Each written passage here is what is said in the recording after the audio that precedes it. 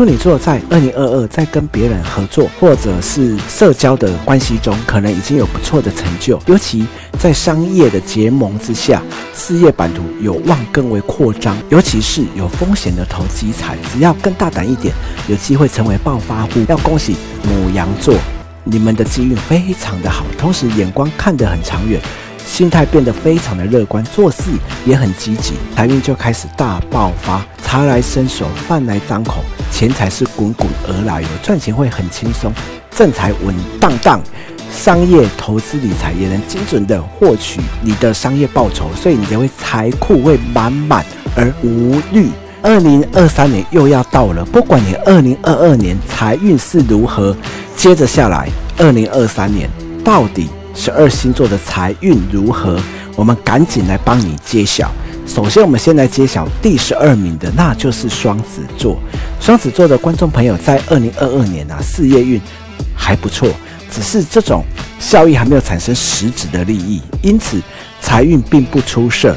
到了二零二三年呢，因为去年的关系，所以累积了不少的社会人脉，在二零二三年会得到不错的人缘及良好的评价，容易因此成为。公益的团队去帮助他人，有点像是在帮人家在做一些好事。到了下半年，哎，更有可能因为善心而走入精神层面，因为帮助他人而乐善好施，会对他人有慷慨捐献的行为。因此，在二零二三年啊。显然的，对追求财富并不热衷，但都是在培养人脉，就是到处请客啦，然后或者是诶帮助别人。或许在二零二四年的财运到来的时候，你才会更好。所以二零二三我们就先这样子就好了。二零二四你的财运就会提升哦。接着下来我们看到的是第十一名，那就是金牛座。金牛座在二零二二年底时可能会因为企图心比较强，所以容易会有一些高风险的行为。所以老师也建议你们也不要乱投资，尤其天王星落入到你们的宫。位，所以容易会造成财务上的损失。这个情况啊，可能延续到二零二三年初哦。所幸啊，二零二三年上半年还会受到福报跟上天的祝福，会有莫名的好运以及不为人知的贵人相助，才不至于让损失扩大。到了二零二三的下半年初的时候，这时的好运会更加的明显，会有暗贵人出现，帮助你累积更多的财务上的经验，使得你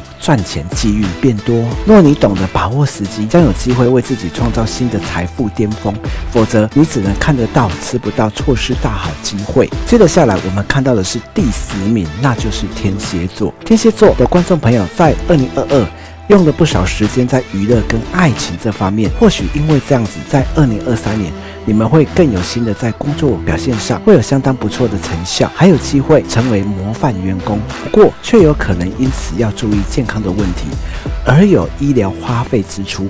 不过，相信。你的热心会被看见，能吸引到自己的贵人出现哦，或与他人有合作的关系，特别是在法律关系方面会有不错的获利，只是却也因此会过度的慷慨，收支不平衡，造成花费增多，务必要留意。接着下来，我们看到的是第九名，那就是狮子座。狮子座在二零二二年可能花了不少时间在偏财上，也可能得到他人的钱财，在。二零二三年的的这个时段里面，你们有机会因为进修学习而有金钱的收益，但却有可能因为外出到远方长途的移动或者是旅行，使得开销增加很多。好在到了下半年，在努力工作之下，会增加了曝光的机会。只是这个功名利禄得来的却很辛苦，所以你为了求表现，加上此时的责任心很重。承担了不少的责任，所以需要相当的付出，财富上才能有所斩获哦。接着下来，我们看到的是第八名，那就是巨蟹座。巨蟹座在二零二二年外地求财的人，通常都会有不错的收获，是比较幸运的。而在二零二三年开始，有机会在工作上得到不错的成就，容易会受到贵人的提携与帮助，会为你带来良好的社会地位，更有机会因工作认识不少的政商名流。但通常是名大于利，名声旺，但是财富效益很有限。到了下半年。会因为你认识的人越来越多，尽管人脉让你拓展好运气，也容易交到位高权重的朋友，但同时人际关系的花费也变多，所以支出方面需要多留意。毕竟这段时间名利是无法双收的。接着下来，我们看到的是第七名，那就是射手座。射手座在下半年，尤其在二零二二下半年，有造化弄人的现象，多半都是经历一段非常辛苦的经济状况，才能有所收获。而物极必反，在二零二三年开始，你心态反而会有过度的随意，会有大胆投资的想法。这个时候，你要注意自身。如果你在工作上或在事业上，你很确定你投资理财是很重要的，或者是你投资理财是不会有意外的，其实对你来说也是会有盲目啦而赔钱。就是你不管你觉得你要投资什么，都蛮危险的。好，因为你可能会判断不清楚。不管哪一个，到了下半年，多半会愿意花很多时间在工作上，有机会收到上司、同事或贵人的帮忙，开始在工作上做得有声有色。虽然不至于大发财，但稳定的收入是有的。接着下来，我们看到的是第六名，那就是水瓶座。水瓶座在二零二二啊，也是磨难不少，赚钱蛮辛苦的。到了二三年上半年。还是需要相当的努力才行，踏实一点上班工作，财富至少是平稳的状态。此时不妨利用下班空闲时间，不断的学习新知识或新的技能，有机会在日后帮助自己赚大钱，带来财富上的好运气。在下半年的时候，如果有想要发展事业的，可以选择在家乡来经营，可以得到家人或家族的帮忙。此外，你需要好好的守住赚来的钱。别随意的挥霍，至少能守住不少财富，而不是花出去。接着下来，我们看到的是第五名，要恭喜摩羯座哦。摩羯座在二零二二也是相当辛苦的一年，基本上只要脚踏实地的工作，大部分在正财方面都会赚到钱。而到了二零二三年呢，只要花点时间研究，有机会靠着买卖不动产有所获利。虽然大家都认为二零二三年会往下滑，但是二零二三也是一个投资的机会，而且还能得到家庭的帮忙，或者是呃祖上的庇佑，得到了家产。到了二零二三的下半年，在偏财上，尤其是投机方面、投资方面是有机会得到财富哦。不过高风险高获利，记得不要过于沉迷，应该是见好就收。如果本身有从事艺术买卖或古董收藏的，将有机会在他人的鉴赏之下卖出好价格。接着下来，我们看到的是第四名，那就是天秤座。天秤座在二零二二下半年，在工作上应该是很努力的员工，部分的人也可能已经受到了上司提拔而晋升了。到了二零二三的上半年，有机会因为稳定的工作。而走入婚姻，同时有机会因为伴侣的帮忙而得到不少的财富。在二零二三下半年，更有机会因为商业合作而有财富上的获利，大捞一笔。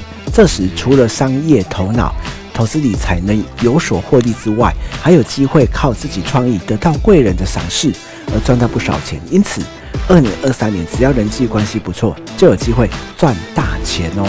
接着下来，我们看到的是第三名。那就是处女座。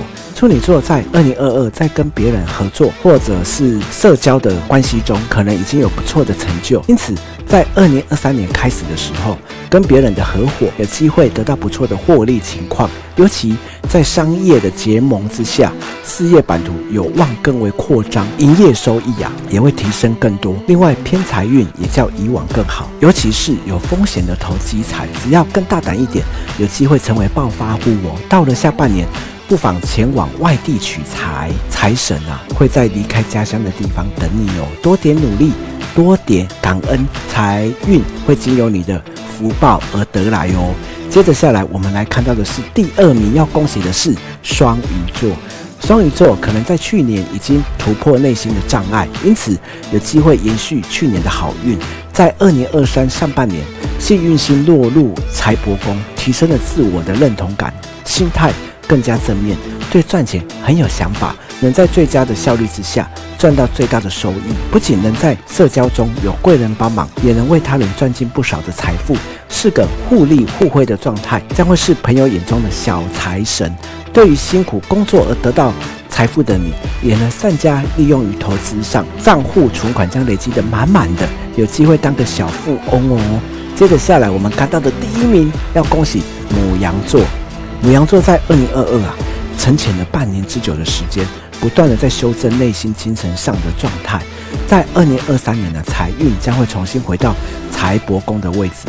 首先，在上半年木星会坐落在本命宫，这时你们的机运非常的好，同时眼光看得很长远，心态变得非常的乐观，做事也很积极。因此，当木星到了财帛宫时，财运就开始大爆发，茶来伸手，饭来张口，钱财是滚滚而来，有赚钱会很轻松，正财稳当当，商业投资理财也能精准的获取你的商业报酬，所以你就会财库会满满而无虑。